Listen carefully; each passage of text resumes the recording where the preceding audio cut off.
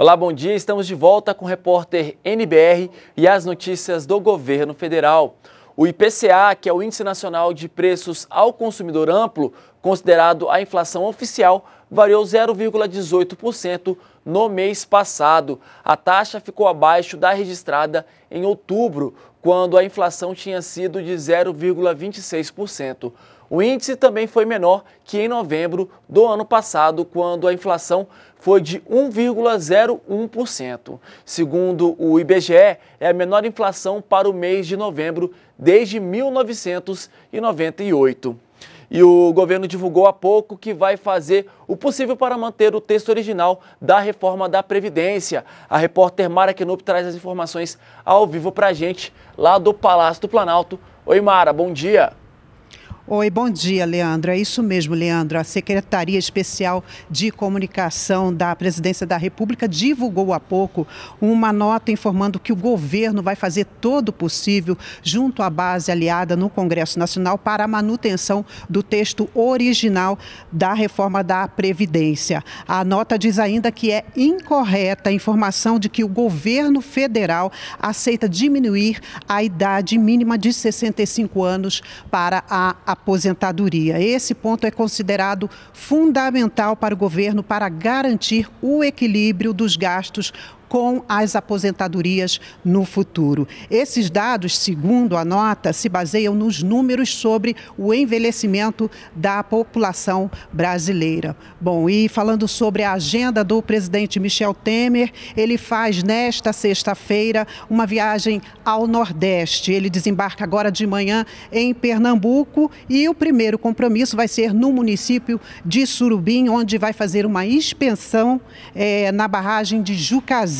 Depois, Michel Temer segue para o município de Floresta, onde visita a estação de bombeamento do reservatório de Salgueiro. À tarde, o presidente desembarca em Fortaleza, no Ceará, onde participa de uma cerimônia no Banco do Nordeste. A volta a Brasília está prevista para as quatro e meia da tarde desta sexta-feira.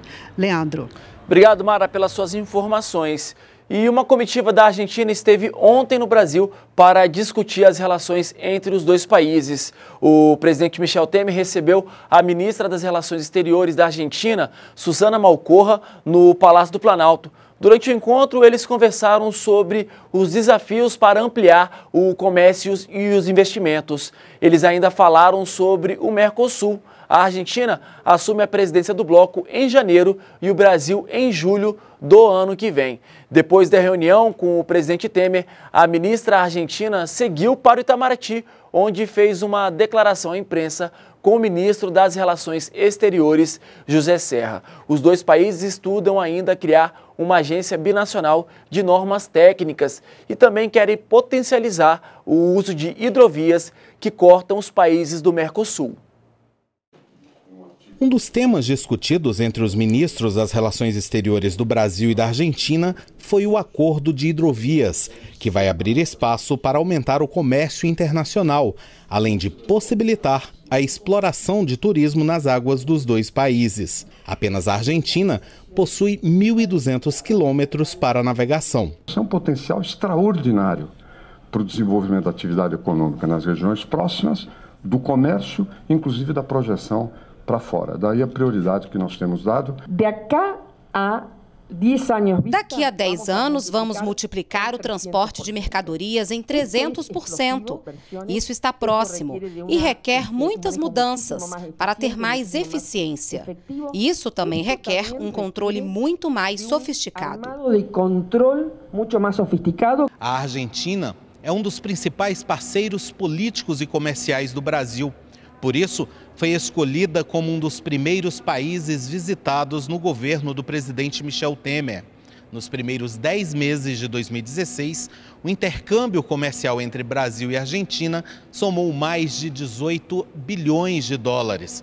Aumentar o fluxo de investimentos e de comércio entre os dois países foi um dos temas debatidos na reunião desta quinta-feira aqui no Palácio do Itamaraty. A criação de uma agência binacional para auxiliar no aumento de produtos entre os dois países também foi discutida para facilitar a fiscalização sanitária e técnica de produtos. Isso dinamizará nosso comércio. é um elemento de facilitação de comércio entre nós e junto a terceiros. E termina hoje o prazo de inscrições para vagas remanescentes do FIES. Vamos ao Ministério da Educação saber os detalhes com a nossa repórter Natália Mello, que tem lá as informações. Oi, Natália, bom dia. Oi, Leandro, bom dia. Uh, podem concorrer às vagas remanescentes do Fundo de Financiamento Estudantil aqueles que tenham feito o Enem a partir de 2010, não tenham zerado a redação e também tenham feito uma média mínima de 450 pontos. Os interessados também devem comprovar a renda familiar, a renda familiar mensal bruta, que não deve ultrapassar três salários mínimos. O FIES já beneficia cerca de 1 milhão e 900 mil estudantes em todo todo o país. As inscrições podem ser feitas na internet por meio do sistema informatizado do FIES, o CIS-FIES. É com você, Leandro. Obrigado, Natália, pelas suas informações aí do Ministério da Educação. E o assunto agora é saúde. Três novos supercomputadores vão unificar as informações dos pacientes no Sistema Único de Saúde, o SUS. A reportagem é da Gabriela Noronha.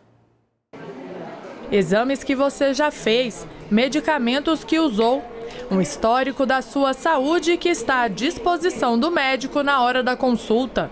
No Hospital de Base de Brasília, o prontuário virtual já está disponível desde 2011. Raíra é enfermeira e conta que a informatização dos dados possibilita um atendimento mais eficiente. O acesso é mais fácil. Por exemplo, eu consigo ler a evolução que o médico fez, que o físio fez nutricionista de uma forma mais rápida. E a segurança também de não ter esse risco de perder alguma parte do prontuário, porque todas as informações estão ali. Sistemas de informática da saúde, como o que é usado aqui no Hospital de Base, serão unificados. A ideia do governo federal é integrar em todo o território nacional as informações sobre o uso dos recursos e o histórico de atendimento dos pacientes. Para fazer isso, o Ministério da Saúde adquiriu servidores capazes de processar todas as informações e lançamentos do Sistema Único de Saúde, o SUS, simultaneamente. Foram investidos 67 milhões de reais na compra de três supercomputadores que vão ampliar em até 10 vezes a capacidade de armazenamento de dados. Nós investimos 67 milhões nessas máquinas que são supercomputadores que são a primeira necessidade para a implantação do registro eletrônico de saúde, que é a base do prontuário eletrônico, onde estarão registrados cada prontuário eletrônico de cada um dos 200 milhões de cartões Jesus com equipamento, será possível implantar o registro eletrônico de saúde e gerar uma economia de até 20% dos gastos com atenção à saúde, o que corresponde de 7 a 14 bilhões de reais ao ano.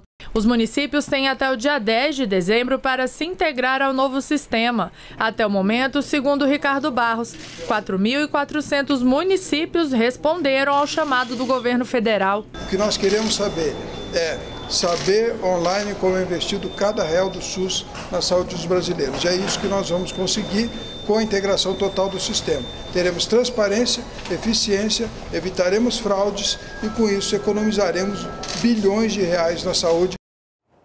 E nós ficamos por aqui, voltamos às 11 da manhã na próxima edição do Repórter NBR. Continue com a gente na NBR, a TV do Governo Federal.